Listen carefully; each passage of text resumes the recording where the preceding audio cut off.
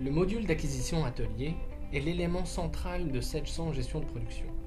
C'est l'interface destinée spécifiquement aux opérateurs et plus globalement à tous les acteurs de l'atelier de fabrication. À gauche, répartis par famille, nous avons la liste des scénarios. Chaque scénario va permettre de déclencher un traitement particulier à travers une fenêtre interactive. La grande taille de ces boutons permet une utilisation sur un écran tactile. Cette organisation des boutons ou des scénarios est complètement personnalisable. Le client a la main pour un paramétrage de premier niveau. Ainsi, il va pouvoir créer ses propres familles ou modifier celles qui existent. Il va pouvoir renommer les scénarios pour les adapter à son métier. Et enfin, il va pouvoir masquer ou afficher les différents scénarios selon le profil de l'utilisateur. Voyons par exemple un autre profil légèrement différent. On voit qu'au niveau des stocks, il a accès à beaucoup moins de scénarios.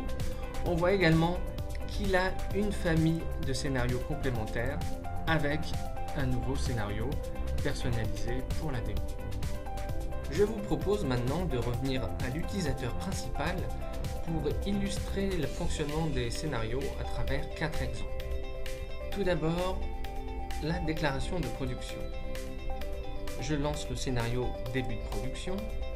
Je sélectionne la machine sur laquelle je me déclare. Je saisis mon numéro de badge. Je valide. Il me demande sur quel OF je veux travailler.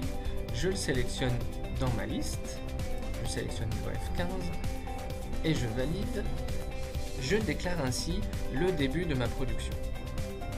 Une fois terminé, je déclenche le scénario fin de production, je resélectionne ma machine, je sélectionne l'OF sur lequel je veux faire ma déclaration parce que potentiellement il peut y avoir plusieurs OF sur la même machine. Ensuite, je déclare la quantité bonne que j'ai fabriquée. Je vais déclarer une quantité de 10. Je valide.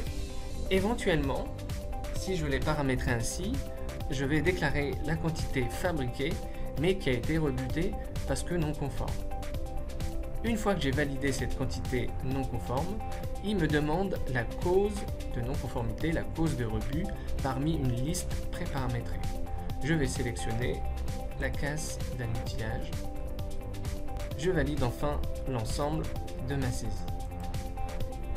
À travers ces deux scénarios, début et fin de production, j'ai pu ainsi déclarer le temps réel de fabrication, j'ai déclaré une quantité bonne qui va rentrer en stock si je suis à la dernière opération de mon OF, et j'ai pu déclarer une quantité rebutée, ce qui va me permettre d'alimenter mes statistiques qualité.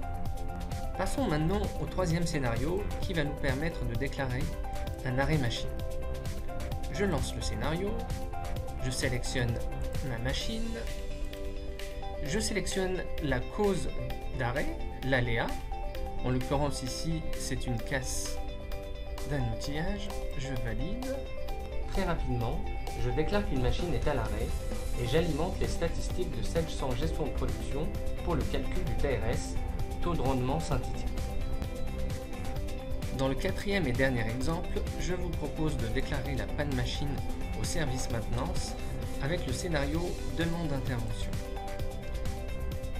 Je sélectionne la machine, encore une fois, je m'identifie pour savoir de qui vient la demande, je saisis un peu plus de précision sur la panne et je valide pour créer automatiquement une demande d'intervention auprès du service maintenance.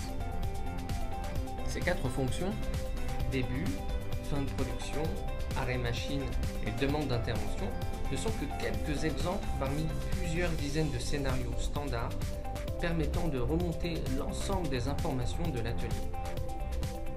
À ces scénarios standards, et grâce au SDK, un intégrateur Sage a la possibilité de créer de nouveaux scénarios complètement adaptés aux besoins spécifiques de chaque client. Nous venons de le voir ensemble, la simplicité, l'adaptabilité, la proximité et le temps réel font partie des caractéristiques de ce module d'acquisition atelier des caractéristiques qui sont aujourd'hui indispensables à une gestion de production efficace.